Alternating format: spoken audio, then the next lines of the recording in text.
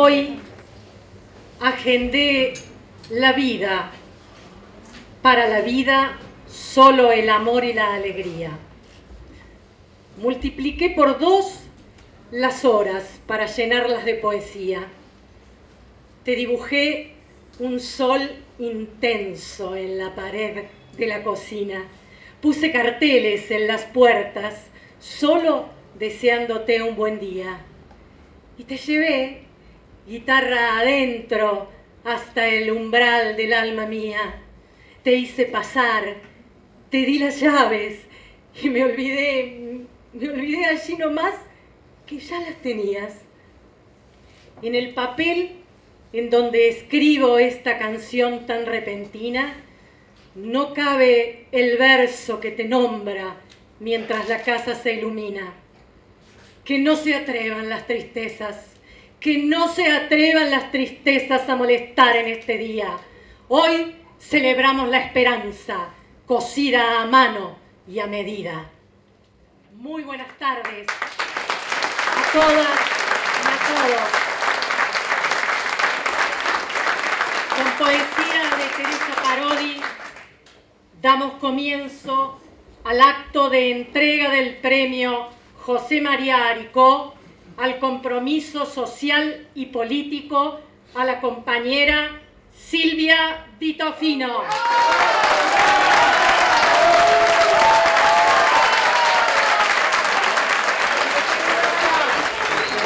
Se encuentran presentes, además de autoridades de la Facultad de Filosofía y Humanidades, integrantes de su honorable Consejo Directivo, quienes aprobaron la entrega del premio que nos convoca.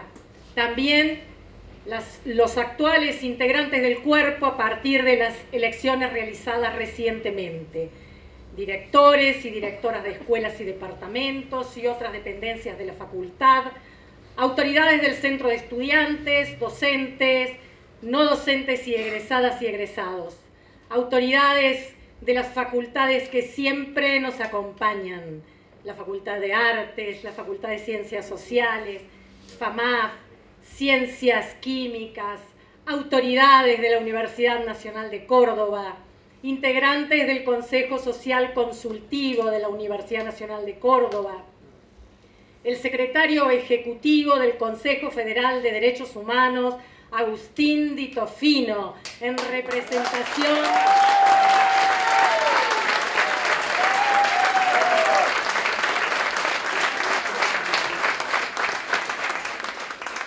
en representación del secretario de Derechos Humanos de la Nación, Horacio Pietragala, autoridades de la Universidad Provincial de Córdoba, miembros de abuelas de Plaza de Mayo, de familiares de desaparecidos y detenidos por razones políticas de Córdoba, de hijos, de la Asociación Civil de Expresas y Presos Políticos de Córdoba, integrantes de la Mesa de Trabajo por los Derechos Humanos y de la Comisión Provincial de la Memoria.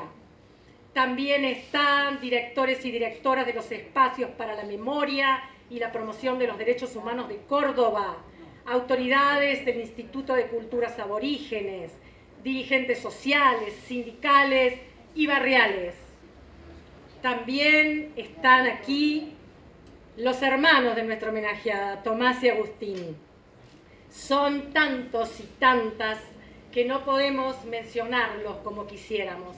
Les agradecemos profundamente el acompañamiento esta tarde. A Sonia, ¿no?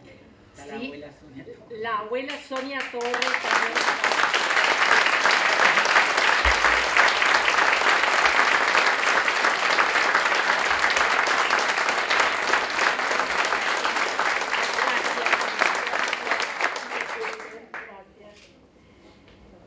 Este es un día muy especial para la Facultad de Filosofía y Humanidades, porque entregar el premio José María Aricó al compromiso social y político que se creara ya por octubre de 2012 con el objetivo de reconocer y rendir homenaje a figuras destacadas del pensamiento, la acción transformadora y la democratización de la cultura y la política, significa en esta oportunidad reivindicar una generación y fundamentalmente reivindicar a quienes con su larga lucha colectiva, a fuerza de su militancia en todos estos años, desde la vuelta de la democracia y antes también, les han puesto un freno a las políticas negacionistas de la derecha que día, a día intentan socavar las políticas de memoria, verdad y justicia,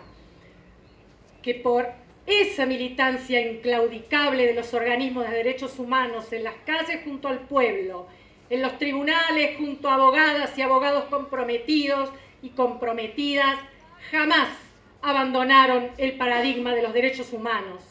Y algo más junto a sus convicciones, el amor, el amor de las madres, el amor de las abuelas, el amor de los hijos, las hijas, el amor de los detenidos y detenidas, de los expresos y presas, de las y los familiares. Ese amor, sí, ese amor es tan revolucionario, tan revolucionario, que entramado con el pueblo, creo que es una de las bases que ha permitido que esa lucha, además de los contextos históricos que sin duda coadyuvaron a esta continuidad histórica. Sin duda, desde las entrañas de un dolor que no se acaba nunca, ese amor y las políticas de memoria, verdad y justicia también serán las que nos van a permitir, aun cuando pasen los años, aun cuando se acaben los juicios, que siga viva la memoria histórica en nuestro pueblo. Por estas y muchas consideraciones que leeré a continuación, en agosto pasado, la decana Flavia de Suto propuso al honorable Consejo Directivo de la Facultad entregarlo en su edición actual al premio Aricó al compromiso social y político a la compañera Silvia Di Tofino, referente de la organización Hijos e Hijas por la Identidad y la Justicia contra el Olvido y el Silencio, Hijos de Córdoba.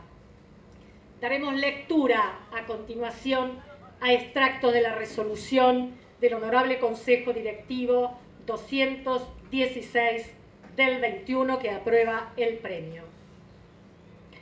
Visto el pedido realizado por el decanato de esta facultad en el sentido de otorgar el premio José María Aricó al compromiso social y político 2020 a la señora Silvia Aditofino, referente de la organización Hijos e Hijas por la Identidad y la Justicia contra el Olvido y el Silencio, Hijos de Córdoba, y considerando que por la resolución del Honorable Consejo Directivo 336 del 12 se dispuso la creación del Premio José María Aricó al compromiso social y político para reconocer a figuras destacadas del ámbito nacional e internacional por su contribución al desarrollo del pensamiento, la acción transformadora y la democratización de la cultura y la política.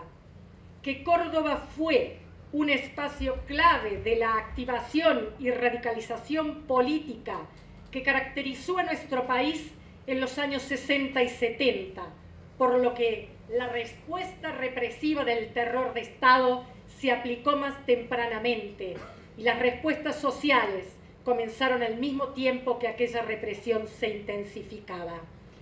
Recogiendo prácticas defensistas de anteriores etapas, familiares de las y los militantes, represaliados y represaliadas, compañeros, compañeras de trabajo y militancia, personas solidarias en general, conformaron comisiones de familiares de personas detenidas desaparecidas que junto a otras organizaciones cimentaron el movimiento por los derechos humanos a nivel local, al cual se sumaría hijos, hijas, hijos por la identidad y la justicia contra el olvido y el silencio en abril de 1995.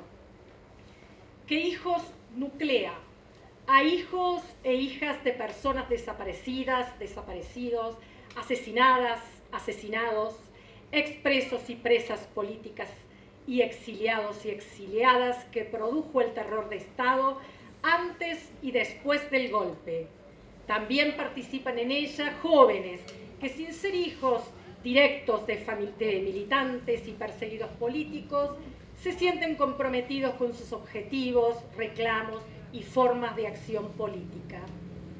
Que en el primer encuentro nacional realizado en Córdoba en Semana Santa de 1995 surgió el nombre de la agrupación y con él sus objetivos principales. La necesidad de construir la historia personal y colectiva dañada y ocultada por los crímenes del terror de Estado. Tanto la identidad individual como la de los hijos, hijas de una misma generación en un espacio de contención afectiva que permite exteriorizar en discurso y sentimientos la experiencia vivida. La exigencia de justicia por los crímenes de lesa humanidad que cometieron militares y civiles de los distintos poderes del Estado durante la dictadura. Rescatar el espíritu de lucha de sus padres y madres, devolviéndoles la condición de militantes, de ciudadanos, ciudadanas, de personas con nombre, apellido y familia. Denunciar el olvido intencional, la complicidad, el ocultamiento y la mentira sobre el genocidio sucedido en nuestro país mediante la construcción de una memoria colectiva alternativa al discurso oficial. La búsqueda de los niños y niñas nacidos en cautiverio y robadas en operativos, quienes fueron luego apropiados ilegalmente por militares y cómplices que ocultaron y cambiaron su identidad que como expresión de esa joven generación de cordobeses y cordobesas que construyeron hijos, desde, los años 90 destaca Silvia Di Tofino, quien a lo largo de los años, dentro de la organización, tuvo activa participación, tanto en la creación de la Comisión Scratche como en el área de legales, investigación y comunicación, siendo elegida por sus compañeras y compañeros para coordinar ese espacio constituido por compañeras y compañeros abogadas, abogados, investigadores e investigadoras, programadoras del sistema y comunicadores sociales, que Silvia Di Tofino fue presidenta y vicepresidenta de Hijos, dirigió y, coordinó diferentes proyectos de la organización entre los años 2005 y 2014, que Silvia Di Tofino representó a hijos como oradora en el acto del 24 de marzo de 2007, cuando el presidente de la Nación, Néstor Kirchner, entregó el premio del, el premio del campo de concentración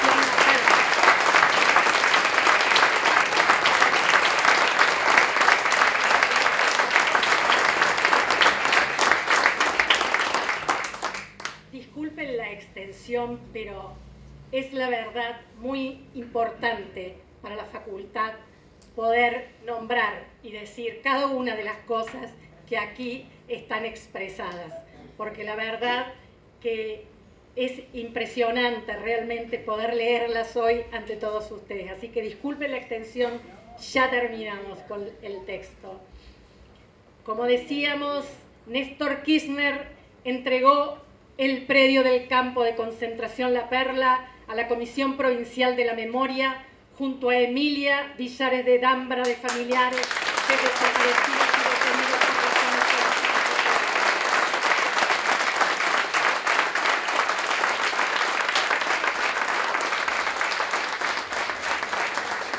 y a Sonia Torres, de Abuela de Plaza de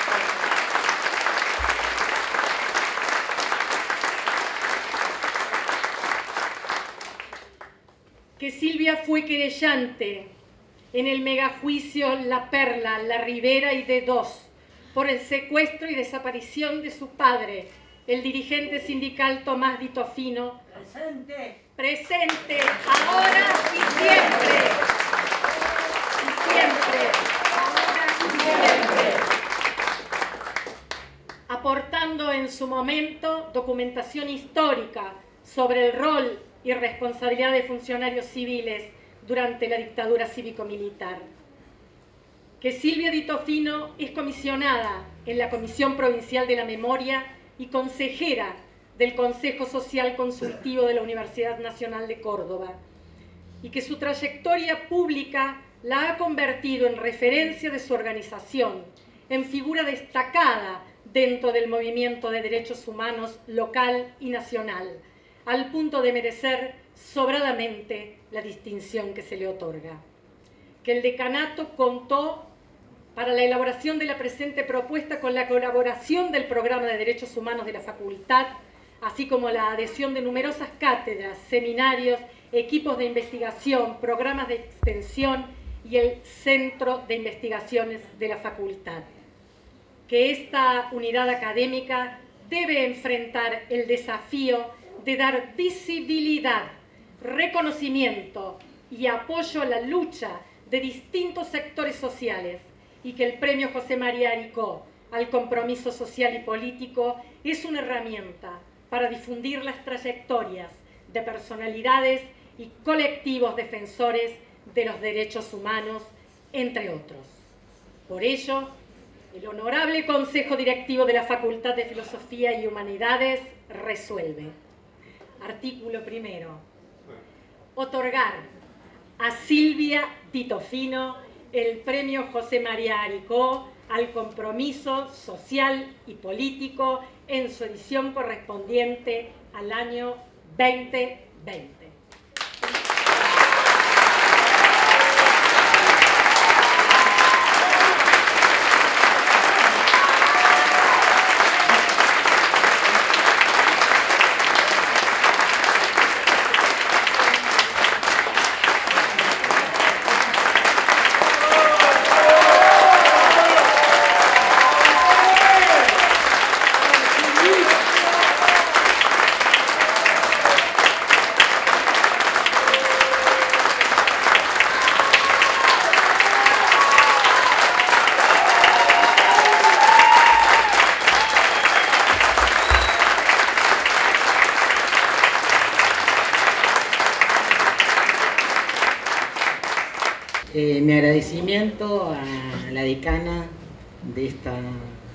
Flavia de Suto, a todos los integrantes del consejo directivo de esta facultad, a todos los miembros, las cátedras, a los distintos este, departamentos que por unanimidad este, me han otorgado esta distinción.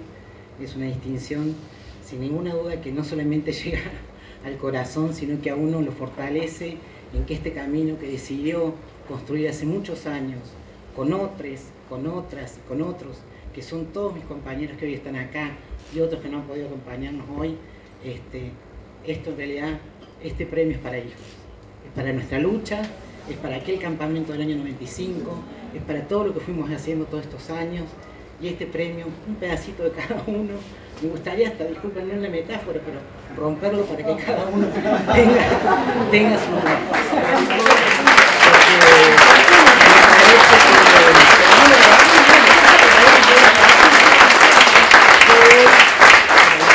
de nuestras vidas y de nuestra lucha hoy me ponen este escenario de este lado, pero este de todos ustedes compañeros y compañeras, porque yo no soy sin ustedes, y ustedes lo saben, y ustedes no son sin todos nosotros, porque esto, esto es el significado de la lucha, y eso es lo que hemos elegido durante tantos años y seguiremos eligiéndose. Así que bueno, agradecer a las autoridades, agradecer las palabras de Silvia, de Leandro, que ha sido un compañero en toda esta previa, de Pablo Becerra, que ha trabajado duramente también, y bueno, de todos los que están acá acompañándome, este, la veo a Mirta, la veo a Sole García, a mis primos Fernando y Damiana, Juli Álvarez, este, que son para Marisa, amiga de, toda la vida, de la escuela, desde niñas, este, mis hermanos, María Paceloto, Martín Fresneda, Emi Fecia, Gringo Zaguero, Mario Toranzo, el Tano, Diana, Vivi, ahí está Lisita Honores, bueno, Sonia, que venga Sonia lo máximo que te puede pasar en la vida, Sonia es el premio en la vida de todos nosotros, es Sonia nuestro faro, ese es el premio.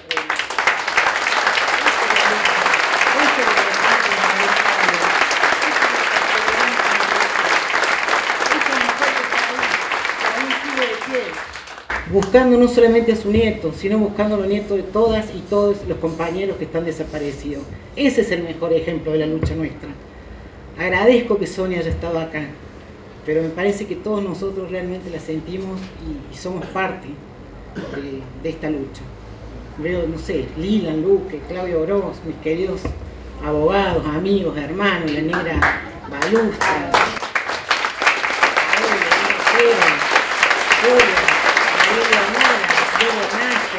bueno, Carolina Lloren, que es este, una hermana de la vida. Eh, lamento decir que el barbijo me impide también este, Nati Ferrero. bueno, Sweet Rock, que es Marcel Jornet. una pareja de, trabajo, de sueños, de, de, derrotas no voy a decir, pero de muchas buenas y malas, pero siempre han sido más buenas que malas. La Poche, de nuevo, acá la tengo. Este, bueno, tanto la Clavita Valdomín, este, tantos compañeros, Silvia Plaza. Silvia Plaza, otro premio. Silvia Plaza, otro premio.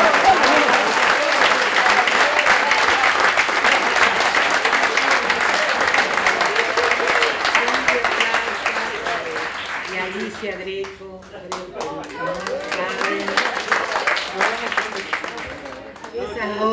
son una alta pandilla de solidaridad, de poder sostener esto, que no ha sido fácil, compañeros y compañeras.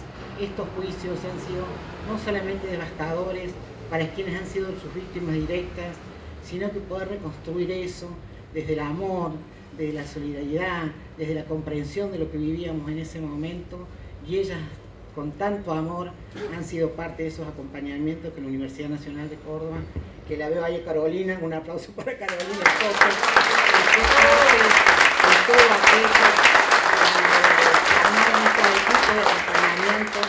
para las víctimas del terrorismo de Estado que pasamos por todos estos años de juicio y seguiremos pasando este, antes que se vayan los nefastos y se mueran. Así que bueno, gracias.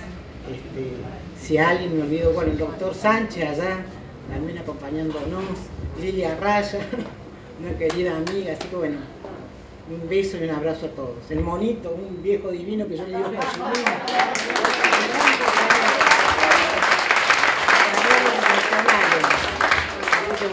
Gracias.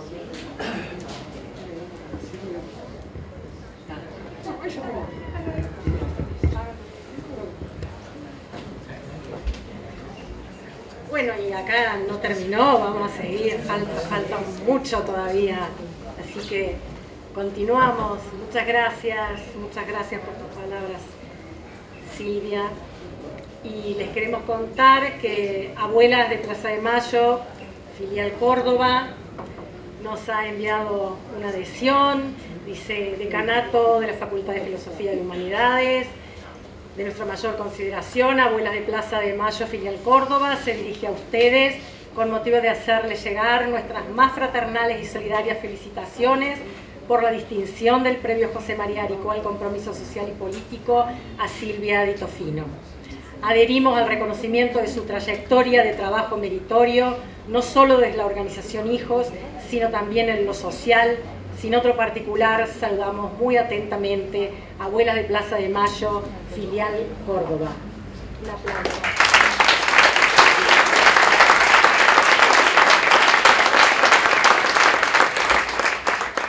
Seguidamente, autoridades del Centro de Estudiantes de la Facultad de Filosofía harán entrega del reconocimiento Agustín Tosco a Silvia.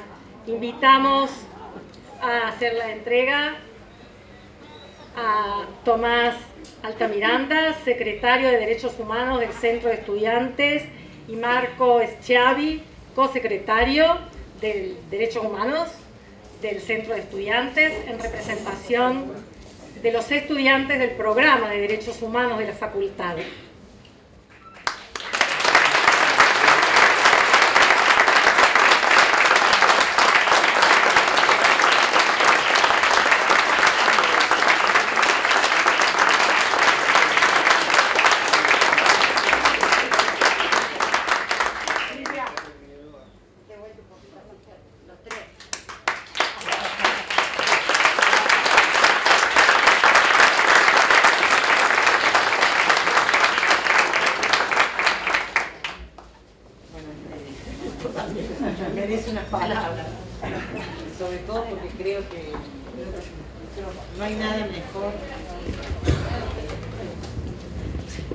Mejor en nuestras vidas eh, que esa juventud que en vez de quedarse cómoda en su casita o en sus trabajitos, este, se revela frente a la injusticia. Nosotros fuimos eso también, ya hace varias décadas.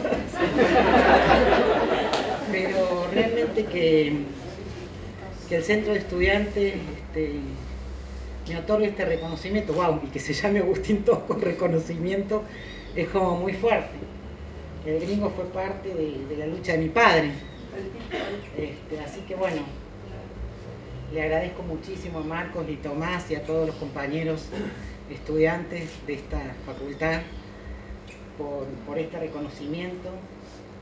Y bueno, compañeros, nos queda mucho todavía, hay mucho por cambiar, mucho por seguir exigiendo.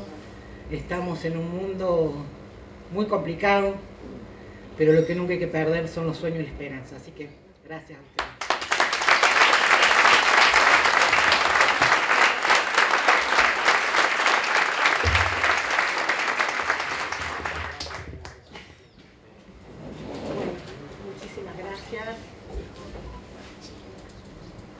las y los invitamos a disfrutar a partir de ahora de un material audiovisual elaborado por nuestro compañero Pablo Becerra a partir de imágenes, fotografías proporcionadas por el Fondo Documental Fotográfico de Hijos.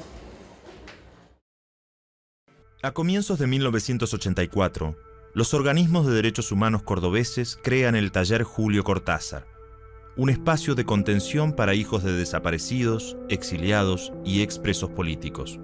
En una antigua casa frente a la Plaza Colón, los niños encuentran un lugar en donde compartir sus experiencias y construir una versión colectiva sobre lo sucedido a sus familias.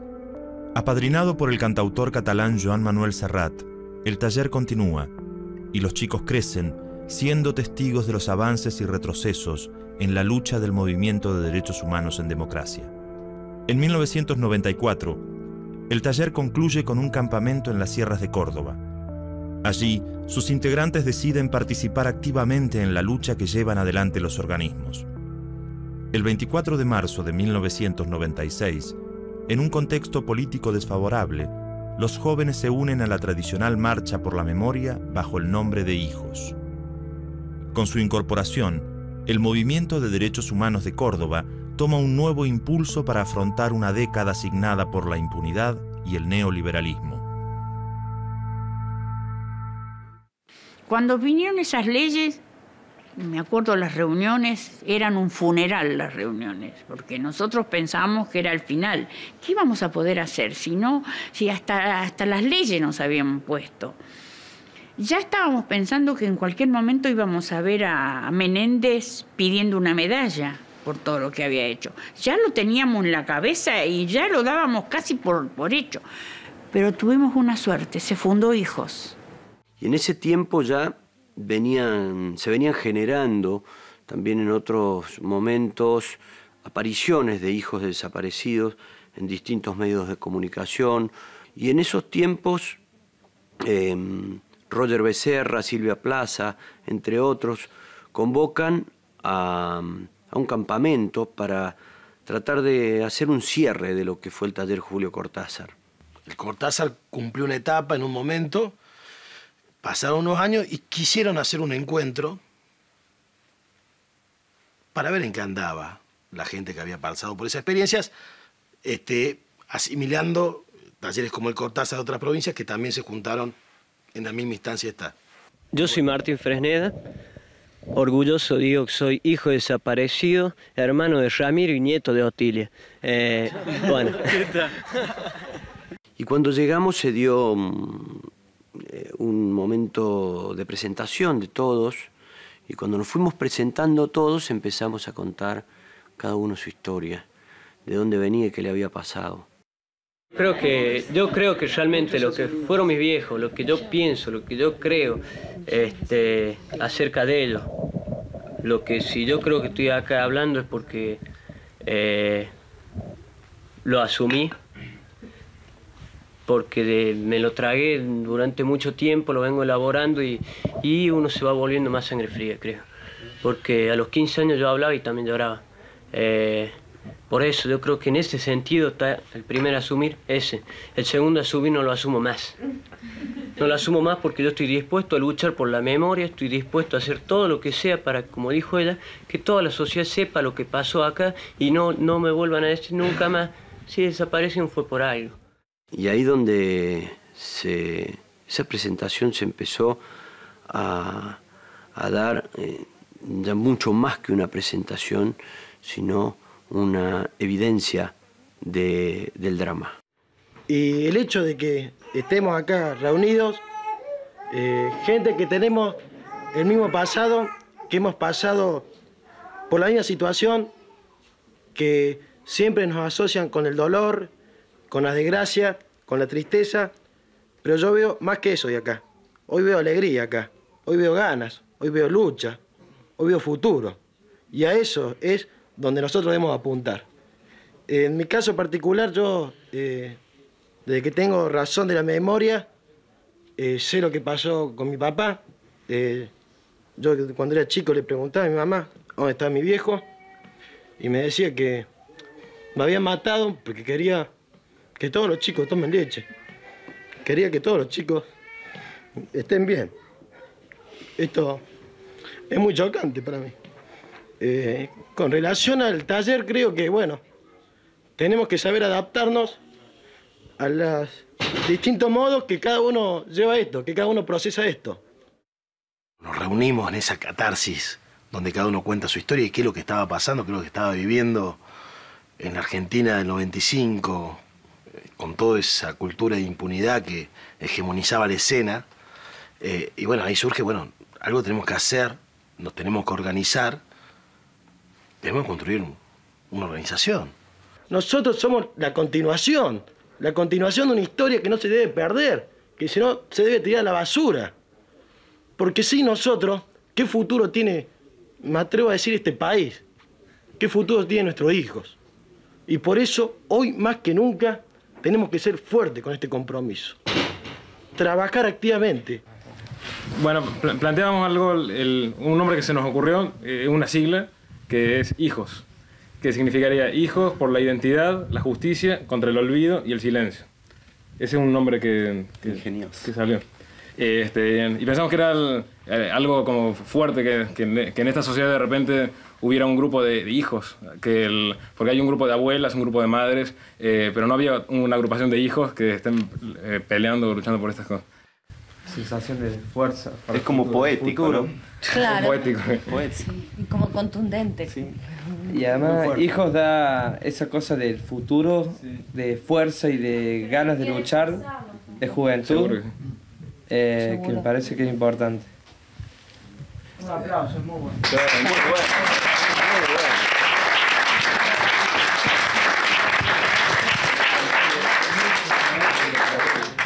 En Córdoba eh, es como que el surgimiento de hijos en realidad lo que trajo es eh, un poco de agua fresca para la lucha, digamos, es decir, refrescó la iniciativa, refrescó las ganas de hacer cosas, un poco por la edad también, una cuestión generacional.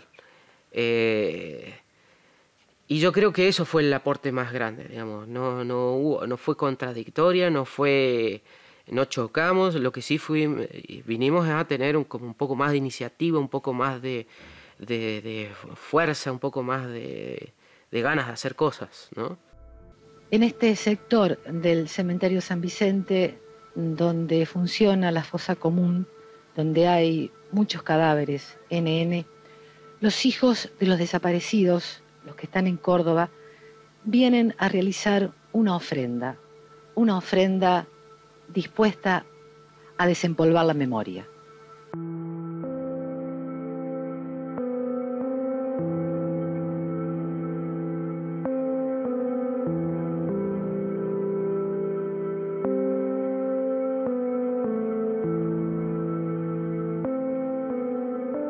Soy Silvia Itofino, hija de Tomás Itofino, y estamos acá en una agrupación que se llama Hijos, formada por hijos de desaparecidos, exiliados, presos políticos y todos los jóvenes con conciencia que quieren recuperar la historia argentina.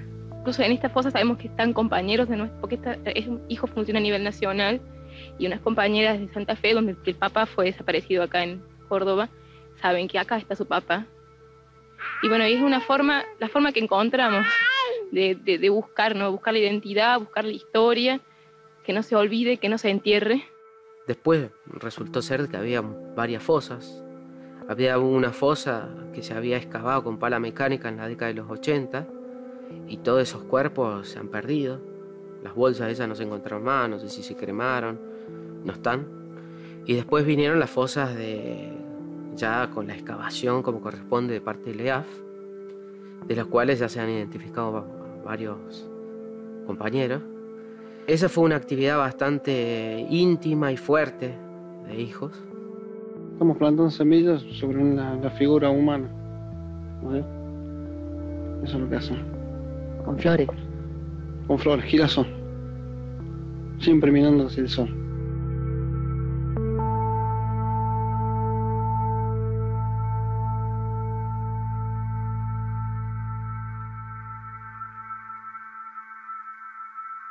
Bueno, el Día Nacional de la Vergüenza, si querés, es como un repudio a la asunción de un genocida, a la situación de impunidad, que, pero que pone sobre la mesa la discusión sobre qué está pasando con las instituciones democráticas que no pueden garantizar la justicia, ni la verdad, ni la memoria. Y mmm, después nosotros sobre esa base hicimos un scratch eh, con afiches acá en Córdoba en el año 97 a Menéndez, que el afiche decía asesino suelto y había una foto de Menéndez que se, que se pegó en toda la ciudad y se hicieron algunas actividades en la plaza. Empezaron a surgir comisiones. Y una de las primeras comisiones era, no me puedo acordar bien el nombre, pero era algo así como extensión y scratch.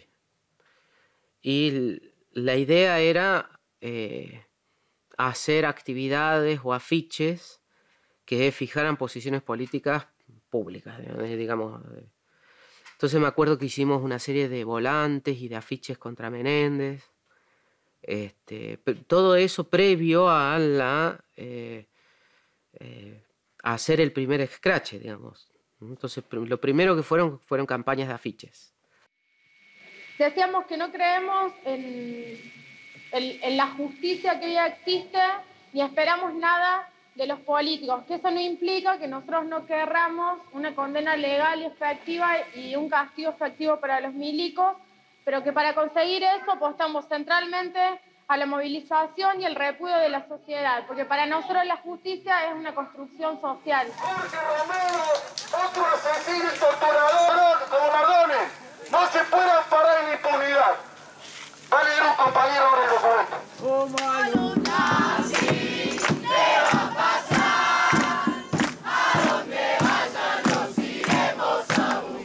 Y me gustaría juicio y castigo para él. Y por supuesto, que la gente sepa que secuestraron a muchos niños, 500 niños en el país, es mucho. Hola, ¿qué tal, Cristino? ¿Cómo estás? Hola, ¿qué tal, Cristino? ¿Cómo estás? Hijo de puta, te digo que Tenemos algunas acciones que creo que no las entendían mucho nadie. Me acuerdo una de las por ahí hay algunas manchas rojas en, la ciudad, de una intervención que hicimos. Después de pensar de los scratches, o bueno, en las iglesias, en algunos edificios, tirábamos bombitas, dejábamos marcas rojas. Un señor de una maldad sin límites, incomprensible la maldad que, hay que, empleado para hacer desaparecer, torturar, violar, sino pocas veces personalmente, pero ser el responsable de tantos crímenes en Córdoba y en toda su área. Es un caso particular de los asesinos que están libres, de los genocidas que están sueltos, caminan entre nosotros y viendo las imposibilidades judiciales por el momento, por las trabas de las leyes de impunidad y los indultos de Menem, ahora está en nosotros condenarlos de alguna forma socialmente, por ejemplo, cuando nos encontramos en la calle con ellos, no tratarlos como un ciudadano común. Y en ese sentido era, fue, siempre fue muy rico, sigue siendo muy rico, eh, muchos vecinos se enteran, eh, nos, nos cuentan cosas, nos comentan, eh, y es una, una experiencia de, visibilización de, de- de todo lo que pasó y de, de crear lazos con los vecinos.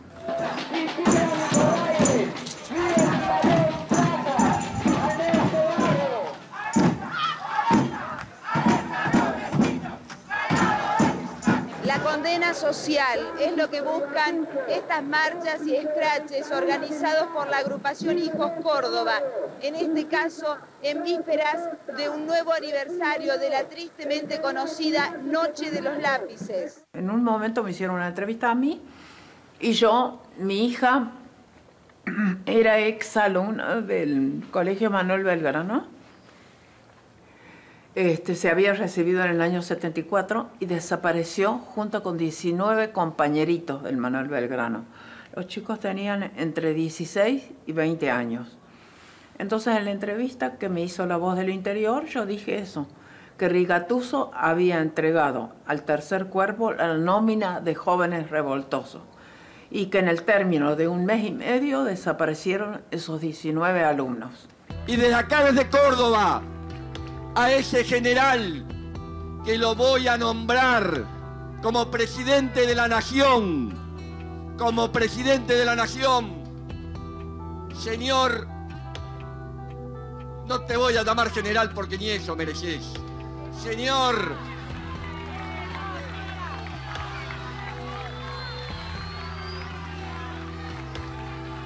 Señor Luciano Benjamín Menéndez.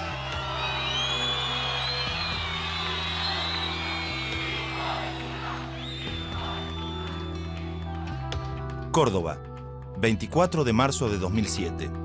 Néstor Kirchner encabeza el acto del Día de la Memoria por la Verdad y la Justicia. Miles de personas se acercan bajo la lluvia al destacamento militar de La Perla, en donde funcionó el mayor centro clandestino del interior del país. A partir de este momento, un espacio recuperado. Ten claro que sos un cobarde. Ten claro. Ten claro que los argentinos saben quién sos y estás escondido en tu casa. Tendrías que estar en una cárcel común donde tienen que estar los delincuentes y los asesinos como corresponden.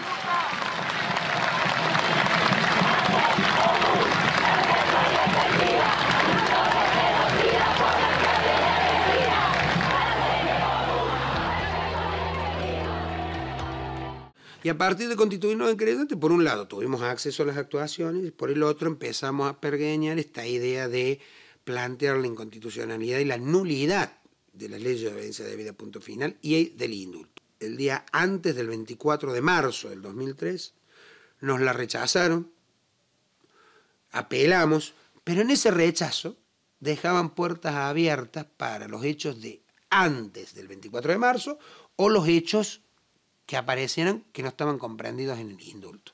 Así que al mismo, ahí tomamos una decisión que para mí fue histórica. Al mismo tiempo que diputábamos la apelación, porque creíamos tener razón, empezamos a reabrir este tipo de causas. Y en el año 2008 tuvimos la primera audiencia oral y pública y la primera sentencia. declarar a Luciano Benjamín Menéndez, ya afiliado, coautor mediato penalmente responsable de los delitos de privación ilegítima de la libertad calificada por tratarse de un funcionario público, imposición de tormentos agravada por la condición de perseguido político de la víctima y homicidio doblemente calificado por alevosía e imponerle en tal carácter para su tratamiento penitenciario.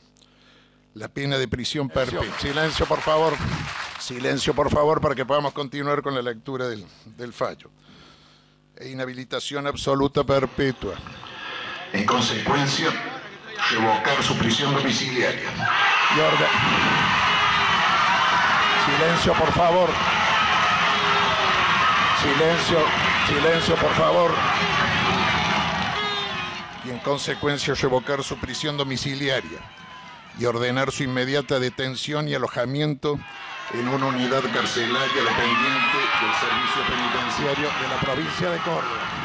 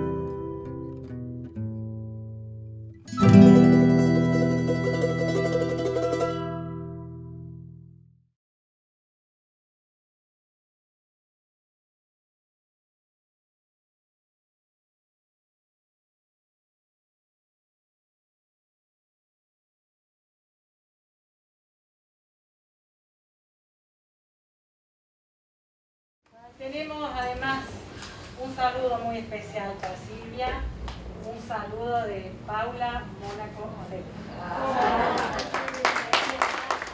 En 1995, cuando se organizó Hijos, cuando surgió Hijos, una de las primeras cosas que se hicieron fue una suerte de presentación en sociedad.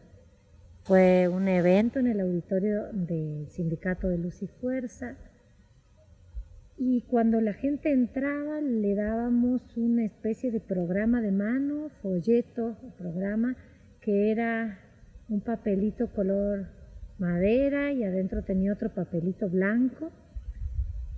Y era algo muy importante, aunque era solamente un detallito, porque era el espacio donde nosotros decíamos, aquí estamos, estos somos, quiénes somos, de dónde venimos y también hacia dónde queremos ir, quiénes queremos ser, qué queremos lograr, porque nos organizamos. Y ese papelito, ese programa de esa primera, primer evento público de hijos, no tenía ni letra Times, ni Arial, ni nada comercial. Tenía una letra perfectamente trazada, eh, muy hermosa y al mismo tiempo cálida, de un diseño increíble.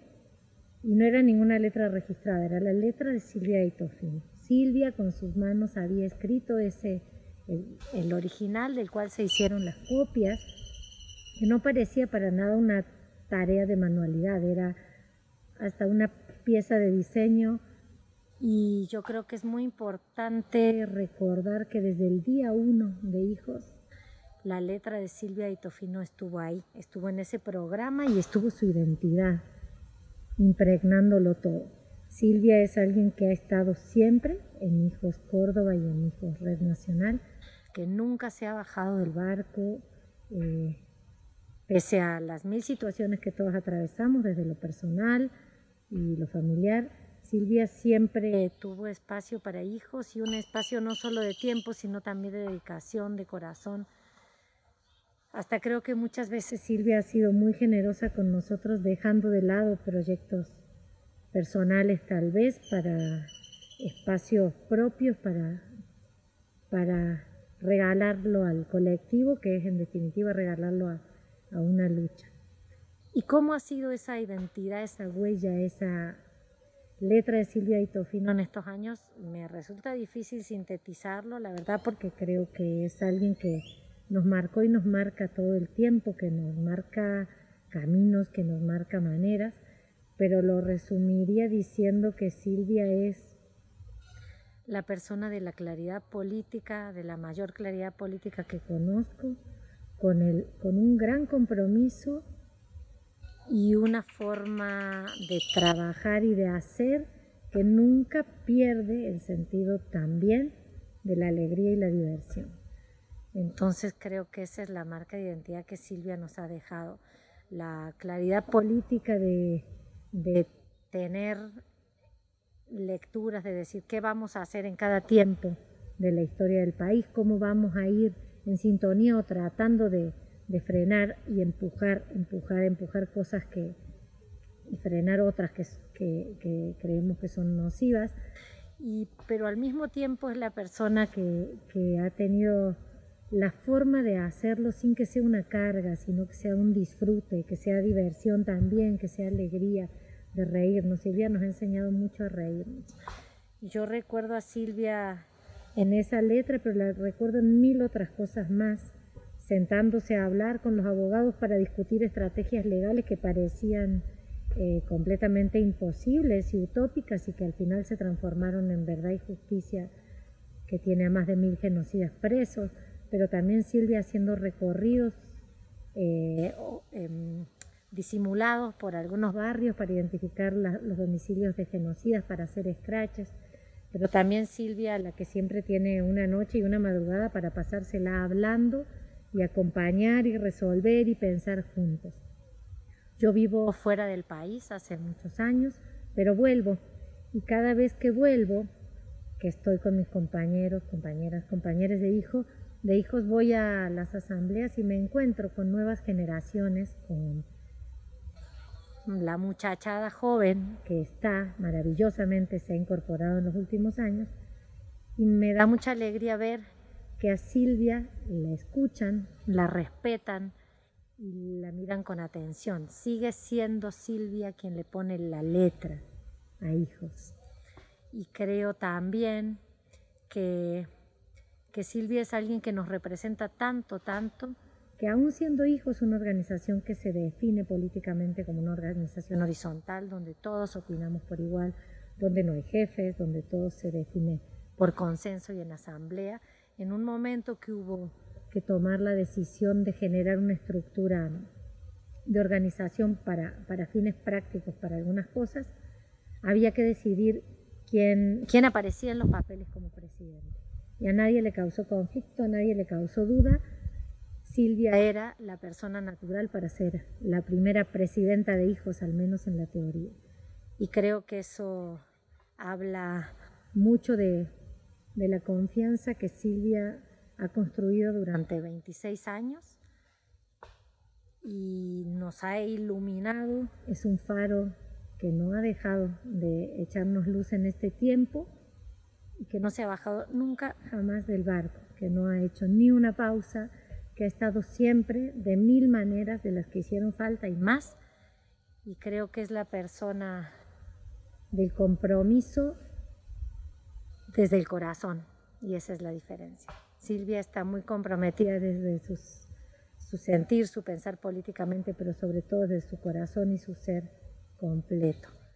Entonces me alegra mucho que Hijos haya tenido siempre la letra de Silvia. Creo que mucho de lo conseguido tiene que ver con eso. La primera cosa es agradecer muchísimo la presencia de todos y todas ustedes, la, presencia también y una presencia que, que, por lo menos de mi lado con Silvia empezó con algún acontecimiento que vamos a narrar el año pasado, eh, pero sobre todo la posibilidad en un contexto de, bueno, en la etapa que sea que estemos de la pandemia, en, el momento que sea que nos toque, de encontrarnos aquí para, para dar este premio y sabemos muy bien que el premio José María Aricó es un premio que reglamentariamente se otorga a individuos porque realmente hay personas que para nosotros tienen esa intensidad y esa densidad colectiva. Entonces sabemos que en Silvia el premio es a hijos, en hijos el premio es a Silvia y la, si a mí me tocó proponerlo, me tocó proponerlo como expresión, como uno le toca en estos casos, de la voz unánime de la facultad, no como individuo tampoco. Y el Consejo Directivo, cuando votó el premio, en sus cuatro claustros también expresó la voluntad unánime de la facultad. Eh, esa es la primera cosa que quiero decir y la que más me importa. Y, y agradecer a un conjunto de compañeros y compañeras que están acá. Yo voy a reiterar este agradecimiento a Sonia, que nos vinimos en la camioneta del Mirmi, que nos trajo de allá, de los lejanos nortes, y que se vino en esta tarde cálida. Y a todos y todas estas compañeras de, de nuestra universidad y de los movimientos y de los organismos y de los espacios sociales y de los espacios barriales que de alguna manera le dan sentido, en el caso nuestro como comunidad educativa, a existir y a poder llevar adelante iniciativas que el único objetivo que tienen es seguir redoblando la apuesta. Voy a pasar muchas cosas, pero quiero decirles un par que me parecen importantes. Este premio se otorga ahora en el sentido que físicamente se lo hemos dado a Silvia en este noviembre de 2021, pero corresponde al año 2020. En la medida en que, por un lado, primero el fallecimiento de Juan Pablo en el 2019 y luego la pandemia nos demoró la posibilidad de ir haciendo efectivos estos premios que entregamos todos los años. Fue por estas fechas, el año pasado, cuando en el Consejo Superior de la Universidad llegó un pedido de designación como profesores eméritos de la UNC para el mundo Barbará y José Luis Palazzo, quienes son en la actualidad docentes de la Facultad de Derecho e incluso integran parte de la gestión de su unidad académica como secretario de gestión en el caso de Barbará y consejero directivo en el caso de Palazzo. Fue el 30 de noviembre de 1976, hace 45 años, el día en que Tomás Itofino, dirigente sindical de Luz y Fuerza, luchador incansable, fue secuestrado por los agentes del terrorismo de Estado. Un terrorismo de Estado cuyos cómplices civiles y eclesiásticos fueron parte necesaria para poner en funcionamiento y legitimar la máquina del terror estatal. En aquellos años Palazzo estaba a cargo de recursos humanos en el EPEC y era encomiado por el genocidio Menéndez como un elemento central para desactivar y eliminar a dirigentes como Dito Fino, luchadores forjados en la estela de Tosco. Palazzo no se contentó con ser un entregador de trabajadores a la mano del terrorismo de Estado, y me hago cargo de lo que digo, tal su forma de desactivarlos. Fue luego funcionario de la dictadura militar como Bárbara y también del Menemato. Así las cosas, el año pasado un amplio movimiento, dentro y fuera de la universidad, comprometido con la causa de la memoria, la verdad y la justicia, consiguió que estos eméritos de la dictadura no fueron reconocidos como tales en el Consejo Superior. Ahora que otorgamos este premio a una luchadora ejemplar de estas causas, cabe preguntar por lo que se dice en la sigla HIJOS, Identidad, Justicia, contra el Olvido, contra el Silencio. El premio Aricó no es una mera institución honorífica.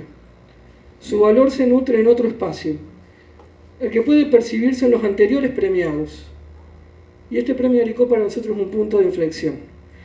Primero, el gobernador de Córdoba, en democracia, Obregón Cano, destituido por un golpe policial que presagiaría la más tenebrosa represión en esta provincia.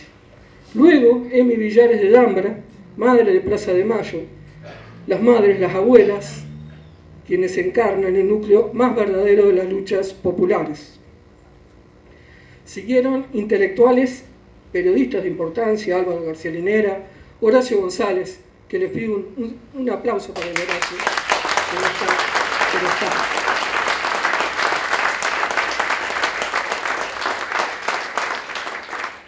Horacio Berbisky y Milagro Sala. Ese Aricó nos valió críticas acerbas y muchos insultos.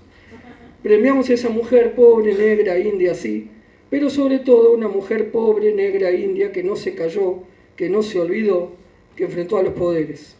La crítica mediocre del republicanismo de medio pelo no podía tragar que la universidad pública la reivindicara.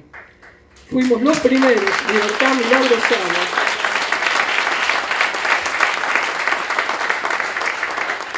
las primeras, cuando casi todos callaban, no es un mérito, es una constatación y un compromiso. Luego vinieron, destaco los dos últimos premios, a Ramona Orellano de Bustamante.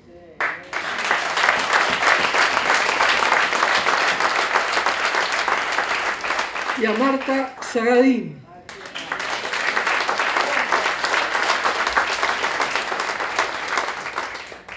Marta y Ramona ya no están entre nosotros como Horacio.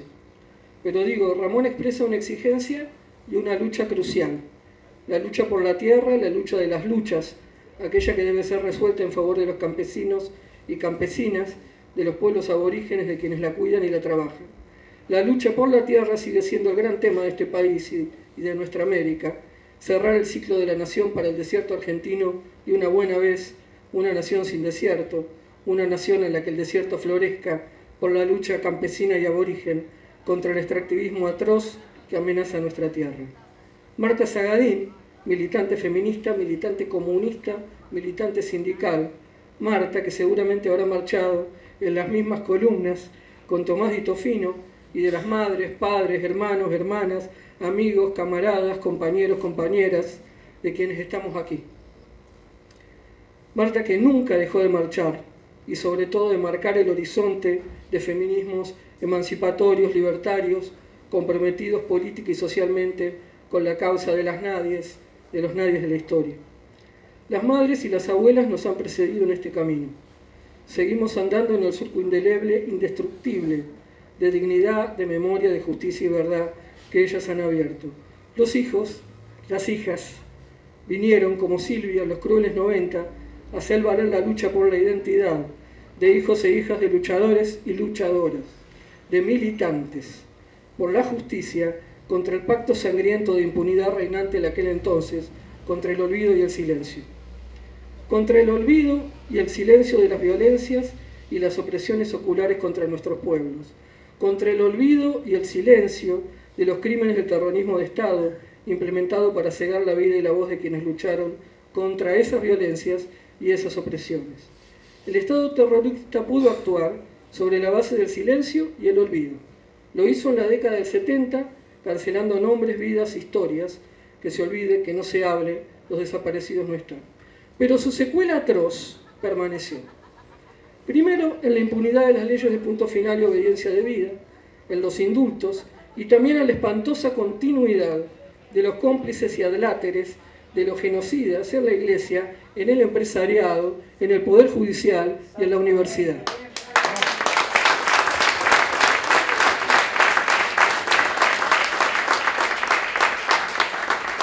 Y aquí quería llegar, a la universidad, aquí donde estamos.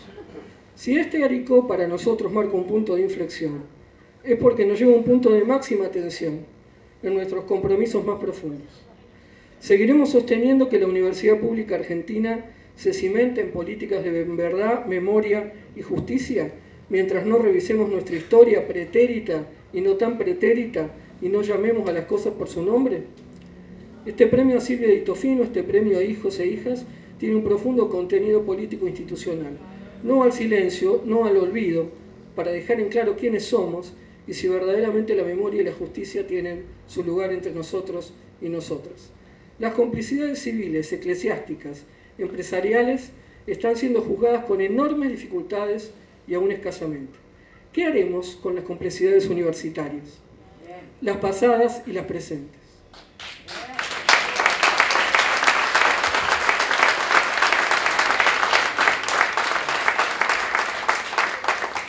Por eso queremos hacer una propuesta que, que tiene historia, ¿no?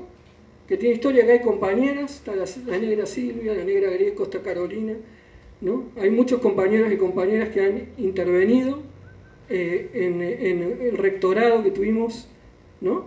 Desde 2007 ¿eh? hasta luego los dos rectores de Carolina de Tamarit para tener una posición clara a este respecto. Bueno, hay que profundizar esa línea. Hay que trabajar más, evidentemente y en ese sentido queremos proponer. Si en noviembre y diciembre del año pasado pudimos movilizarnos y parar esa terrible mancha para la democracia universitaria y para la lucha de nuestros y nuestras compañeras, que hubiera significado designar como profesores eméritos la más alta dignidad que otorga esta casa, profesores para siempre de nuestra casa, Barbaraya Palazzo, podemos ahora con la misma fuerza trabajar en una propuesta que construya memoria y justicia y revise las dignidades que nuestra universidad ha conferido a quienes han sido funcionarios durante la dictadura, que plantee la imposibilidad de que quienes han sido cómplices del terrorismo de Estado, ocupando probadamente cargos eh, públicamente, ocupen lugares de representación política e institucional, que no puedan estar ya más en consejos directivos, en gestiones, en jurados de concursos, en jurados de investigación.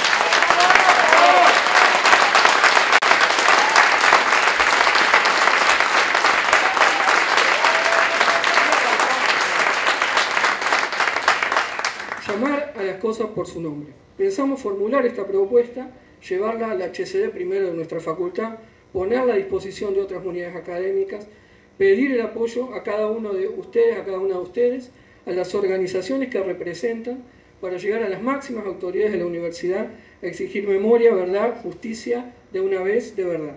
No más cómplices del terrorismo de Estado en nuestra universidad.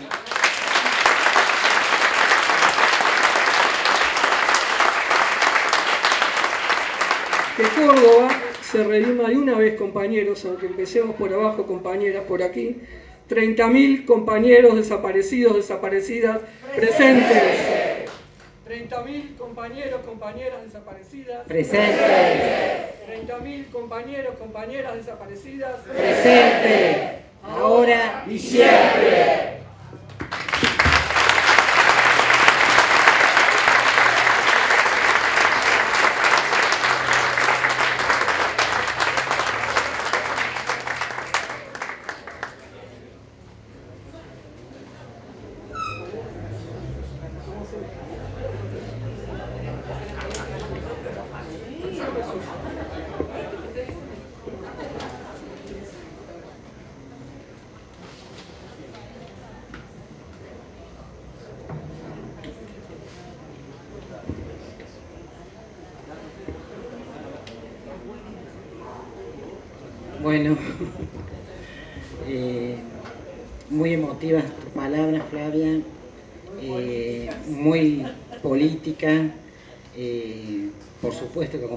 Esa propuesta, sin ninguna duda. Creo que va a reflejar una bisagra, ¿no? En la Universidad Nacional de Córdoba, a partir de la democracia. Me parece que cuando uno habla de memoria, verdad y justicia, eh, tiene que empezar a develar esos subterráneos este, que aún no siguen, digamos que, que no se develan, ¿no? O por, o por la burocracia de la propia dinámica, o porque cuesta tanto eh, comprender que aquí no solamente fueron las Fuerzas Armadas las ejecutoras de aquel plan sistemático de aniquilamiento a los opositores políticos, sino que acá tuvo que ver, sin ninguna duda, la pata cívica y la pata eclesial. Eh, me han dejado así como, como upside, dirían, este, tanto bueno, las imágenes de, de Pablo en, este video que arranca con, con el taller Cortázar y que ha hecho como un, un camino, ¿no? El camino nuestro de, de estos 26 años de lucha. Eh, no ha sido fácil porque llegamos a esa organización desde nuestros dolores, desde nuestras ausencias, desde nuestros padeceres, pero con la certeza eh, de que teníamos la fuerza para transformar esa realidad que nos tenía de sujetos y sujetas en aquel tiempo. Llegamos a esta organización, sin ninguna duda, con el ejemplo inclaudicable de las abuelas de Plaza Mayo, acá la tenemos a Sonia que nos acompaña, pero de familiares de desaparecidos y detenidos por razones políticas de Córdoba. Como todos saben, Córdoba no tiene madres de Plaza de Mayo, sino que tiene la organización eh, relacionada al terror de Estado más vieja del país, porque en Córdoba justamente arrancó todo en el 74, antes del 24 de marzo del 76. Y bueno, cuando llegamos nosotros, eh, siempre tengo presente dos cosas que fueron como muy fuertes en, en nuestra vida eh, colectiva, en esta vida de, hijos. Eh, una fue a la semana de aquel taller, de aquel campamento en San Miguel, que los hermanos Fresneda, Ramiro y Martín, eh, nos convocan a la casa de su abuela. El- Ellos vivían con Otilia en la calle Castrobarro. Y ahí convocaron la semana de, de ese encuentro en San Miguel a todos los compañeros que habíamos participado de, de San Miguel. Yo tuve la suerte de ir un solo día, que fue el sábado. Tenía una hija muy pequeña que se enfermó, entonces no podía quedarme, pero había llevado un video en el cual habían par- participado mis hermanos, los hermanos este, de la Fuente, los hermanos Fresneda y Gustavo Vives, hijo de un compañero también de y Fuerza. Entonces teníamos ya como una relación y nos unían esos lazos que, que uno va construyendo. Son como esos abrazos sin saber que estás, ¿no? Son solamente mirarnos y ya sabemos que, que- somos parte de la vida del otro y que el otro forma parte de la vida nuestra. Y la generosidad, a mí me gusta que, que se, se pueda recordar eh, todos quienes pusieron sus brazos para recibirnos. La generosidad de la abuela Otilia Lescano, eh, de abrir su casa para recibir esa muchachada, como dice Paula o, eh, en este saludo tan emotivo, cuando habla de la muchachada que hoy compone y nos acompaña y es parte de la organización Hijos. Éramos eso, era una muchachada que llegaba a la casa de Otilia, en la calle Castrobarro, y de golpe éramos 20, 30, 40, empezó a subir gente por la escalera, otros en la terraza, otros en el, pasillo de ingreso, el living no se podía estar, la abuela Otilia se reía, los nietos decían, vamos, entren, entren.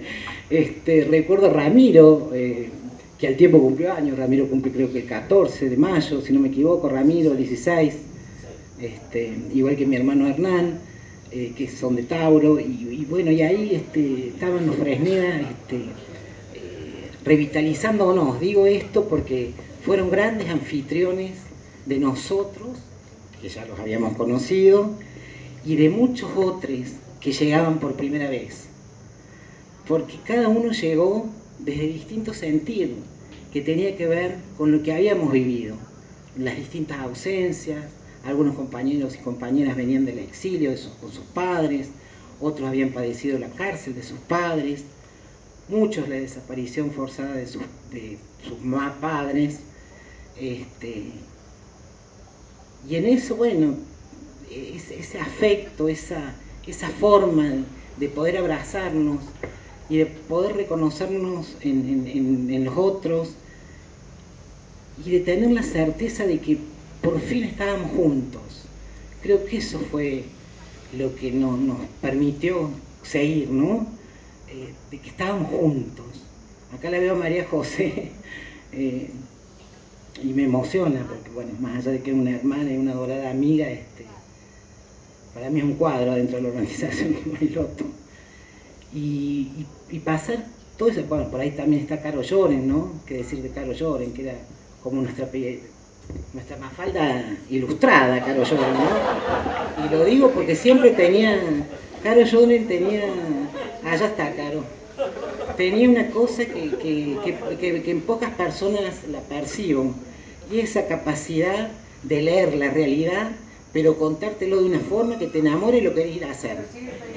Por eso digo, pero yo cuento la Caro de los 20 años, era mamá encima, tenía la pequeña Ludmila. Entonces, bueno, este, con todo ese fuego, con toda esa forma, con toda esa amorosidad, con los quilombos que teníamos también, no teníamos trabajo, muchos, este, que la facultad sí, que la facultad no, eh, quilombos de amores, digamos, la, vida de estos jóvenes, hombres y mujeres que transcurrimos ese tiempo. Después de esa casa de Otilia, la generosidad pasó a abuelas, ¿no? de, Córdoba, que nos abrieron la puerta en este, Todestería Negro Bazán en la calle 9 de Anfunes, ¿se acuerdan? La casa de los trabajadores. Bueno, y ahí, ape- digamos, caímos, nos dijeron, bueno, ubíquense por acá, éramos 20, 30, de golpe éramos 100, y dijimos, no, acá no podemos quedarnos, pasamos al patio. Me acuerdo que esto ya era fines de abril, principio de mayo, pasamos a aquel patio este, con un árbol gigante, y ahí todos, este, todos en esto, en este abrazo y en ese significante que ha tenido este encuentro nuestro. Me parece que eso es lo más grandioso que nos pasó a todos. Cuando empezamos a ver que ya éramos 150 y no entrábamos más, y que la casa de los trabajadores tenía actividades culturales, teatrales, este, de cine, más militancia, más plenarios de otros compañeros, este, tuvimos la, suerte o la visión de decir, che, si vamos a familiares a preguntarles que ellos tienen una casita propia, si nos prestan su casita, una nochecita, y hacemos la, la reunión, la asamblea. Y allá partimos. Estábamos en la calle de Anfunes, partimos un grupo de cuatro o cinco compañeras y nos presentamos en la Brida 512, no me acuerdo. 520. Una casita, chicos, chicas, chiques, era así de pequeña y nosotros éramos 150. Cuando llegamos estaba Keka, la querida Keka, acá está María Angélica, su hija, el Charo Dambra, Santiago, la Emi Dambra, Rosita Morandini, Irma, Ronaciotti, y Albita Camaro, que después pasó a ser hijos, pero que en esos tiempos acompañaba familiares. Y bueno, ahí le planteamos que éramos hijos, que si nos alquilaban una piecita, yo cuando vi que no dábamos, o sea, ediliciamente con la cantidad que éramos, y ellos dijeron que no, que ellos sabían este, que esta casa era nuestra, así fue, me acuerdo las palabras de Santiago Dambra, y que este, nos estaban esperando. Y que para ellos era un orgullo que nosotros pudiéramos compartir su espacio. Con lo cual, no terminó de decir eso, que nos rajamos de Anfun y dijimos, vamos que la semana que viene tenemos familiares, la casa es nuestra. Y bueno, y yo creo, bueno, está la negra balustra este, acá, que puede dar fe. Y bueno, y llegamos a esa casa que efectivamente pasó a ser nuestra. Pero no solamente en, términos de cómo nos fuimos apoderando de ese espacio y de todo lo que vivimos en esa casa, que fue muy fuerte, sino que tenía que ver con, con aquel tiempo en el cual nos paramos para construir esto.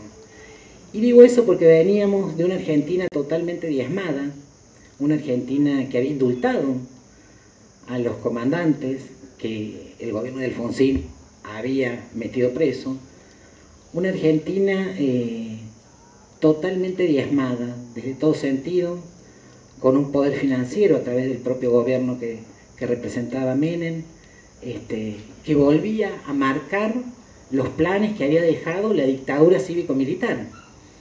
En esa Argentina, de tantas contradicciones, de, tanto, de tanta bronca, de tantas movilizaciones, de tantos, de cientos, de miles de compañeros desocupados, en esa Argentina donde se privatizaron las empresas del Estado, en esa Argentina totalmente diezmada y amparada bajo el, paraguas del neoliberalismo, ahí surgimos.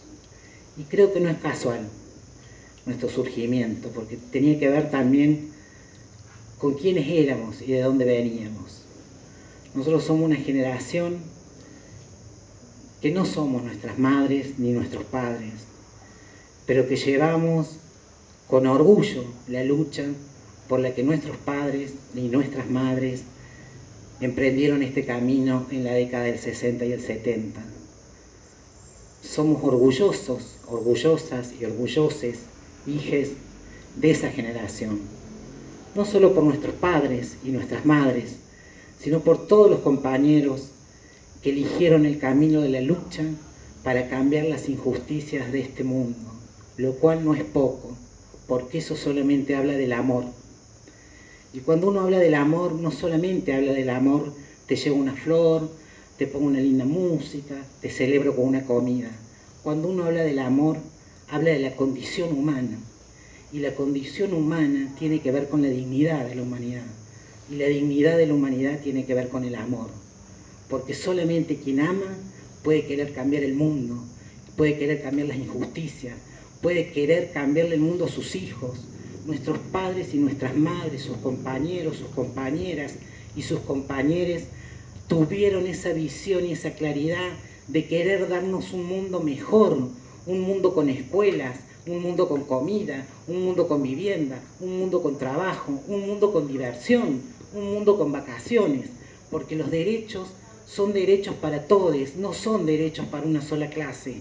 Y me parece que la mejor enseñanza que nosotros transitamos a partir de lo que nuestros padres intentaron cambiar, porque evidentemente no lo lograron, porque hubo un Estado terrorista que se lo impidió, y hubo socios civiles, y hubo una iglesia cómplice que amparó todo el horror de Estado, nosotros tuvimos en, en aquel momento del 95 y, y todos los años que siguieron, esa, digo, es como una fortaleza en un punto, ¿no?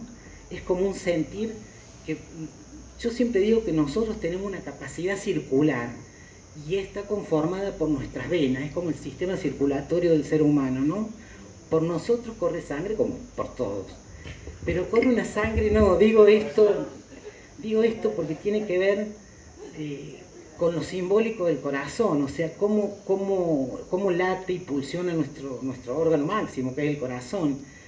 Y la lucha tiene que ver con eso, compañeros y compañeras. La lucha tiene que ver con, esa necesidad de cambiar la injusticia, con esa felicidad por querer cambiarla. Tiene que ver con ese amor por querer este, brindarlo a los otros. Y me parece que, que eso, yo veo acá muchos compañeros que, que han optado y, honro su, elección por profundizar estas luchas.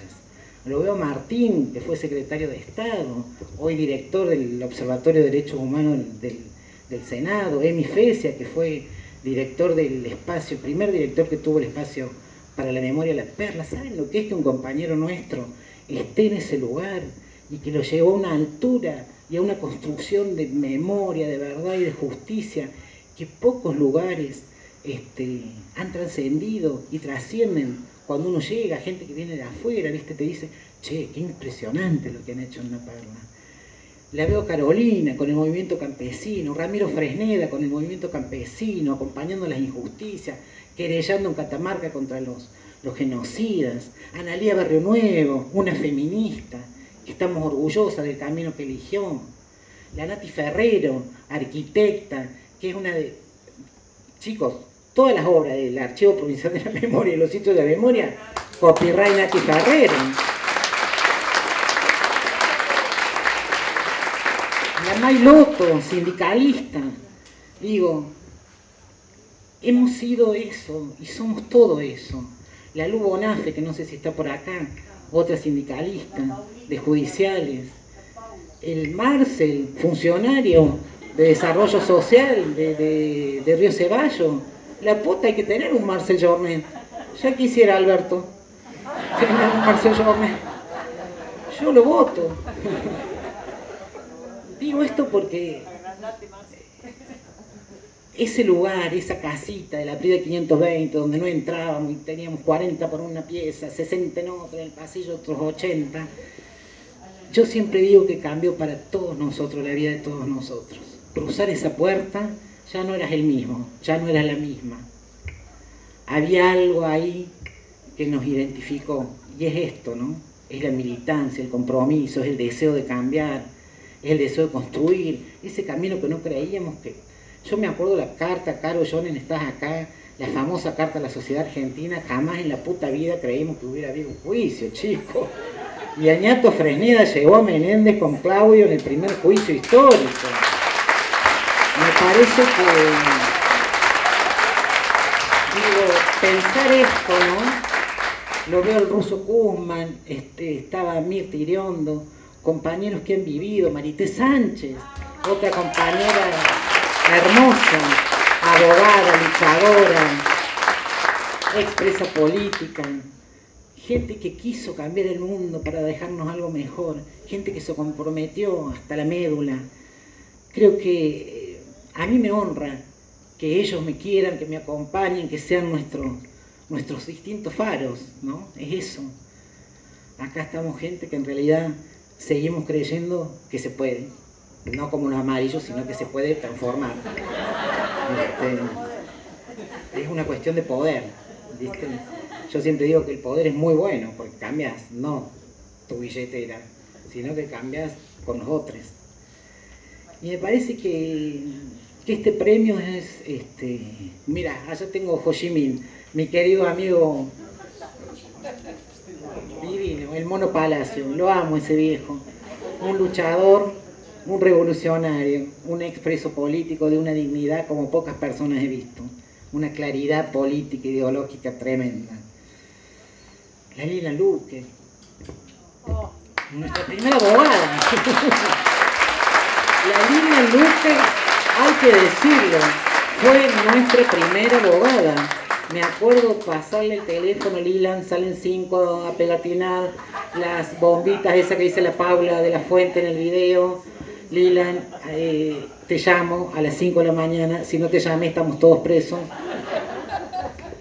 Este, bueno, creo que todos esos compromisos inmensos de todos nosotros, de todas nosotras, de Sonia que sigue acá y que tenemos que, luchar hasta encontrar el nieto de Sonia, y escarbar y ir y pelear y pedir y pedir y exigir hasta que logremos que Sonia se dé ese abrazo con su nieto. Me parece que son las misiones que tenemos, ¿no? Martín y Ramiro, encontrar a su hermano. Nos queda tanto, compañeros. Parecería que no, pero nos queda tanto, tanto. Y me parece que este reconocimiento lo que nos permite, primero que nada, es poder reconocernos entre nosotros, ¿no? Darnos fuerza, saber que estamos, que queremos seguir construyendo memoria, verdad y justicia, que queremos seguir construyendo más derechos para todas, todos y todos, que queremos una sociedad más equitativa, un mundo mejor para todos. No queremos pibes cagados de hambre como hay, no lo queremos, nos indigna, nos da bronca. Y me parece que esto, si no es entre todos, no es. Y me parece que estas, eh, estos lugares, que la universidad, una facultad tan prestigiosa, eh, nos invita a reflexionar ¿no? en esto que propone Flavia. ¿Qué sucedió con funcionarios y funcionarias reconocidos que aún participan de concursos o de lugares de ejecución y de gestión y que han tenido determinadas complicidades? Este, a mí no me gusta decir la palabra complicidad, prefiero decir la palabra eh, acción, o sea, han sido parte de, de- un plan. Exactamente. Me parece que, aparte de ser muy interesante, creo que es algo que tenemos que acompañar. Eh, a mí me llena de, gratificación haber sido distinguida de esta forma. Eh, lo digo sin desmerecer a las autoridades y a la facultad. Me gustaría romperlo y que cada uno se lleve un pedacito. Soy parte de- de pensar eso. Eh, y se los pasamos un rato cada uno, está bueno. Un rato en cada casa. Este, veo ahí a Ali Honore, Vivi, Diana, el negro Toranzo, el Tano, tantos compañeros queridos, que si me olvido de alguno, discúlpeme, pero es el barbijo este que no me deja ver. Y un poco para cerrar, este, y agradecer este momento que me han hecho vivir, las palabras de Paula me han conmovido muchísimo, sobre todo porque he hablado con ella y no me decía de esto, y sobre todo por sé- porque sé dónde está Paula en este momento, está haciendo un trabajo terrible en pleno bosque, selva tropical de Guatemala, haciendo unas historias de vida, trabaja con lo que allá es un equipo de antropología forense parecido al LEAF, creado también por Craig Snow en Guatemala, y lo que está haciendo es acompañar justamente ese equipo de antropólogos y antropólogas, eh, porque van a abrir una fosa que tiene 300 víctimas este, asesinadas en un solo día. Es una zona muy, este, muy difícil de llegar, ¿no? Este, hay comunidades de nuestros hermanos de los pueblos originarios de la zona y que ella, digamos, haya tenido ese gesto de, de en plena circunstancia que está atravesando en esta semana de trabajo, haya grabado esas palabras tan emotivas, este, me llenan de orgullo por lo que ella es, por la compañeraza que es no- de nuestra y por lo que significa la voz y las palabras de Paula. Pero también quiero decir que, que esto de verlo a todos ustedes que han sido convocados por esta facultad para acompañarme en esta distinción,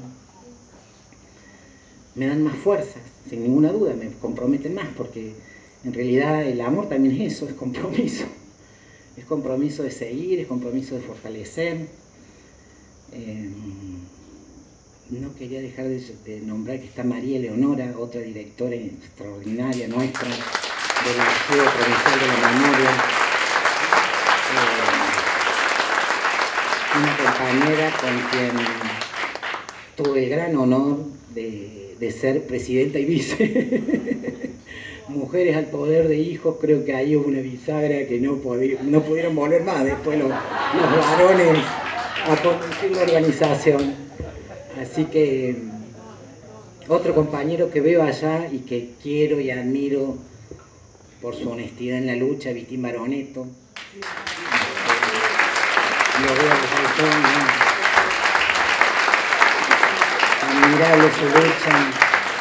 Un director de Derechos Humanos Municipal de la hostia fue cuando, más allá que hoy no coincidimos con, con aquel intendente Vitín, pero nadie puede dejar de reconocer su, su gran trabajo territorial y de acompañar las distintas injusticias y seguir exigiendo, este, no solamente en el camino de memoria, verdad y justicia, sino en la ampliación de, de- de derechos para todas y todos.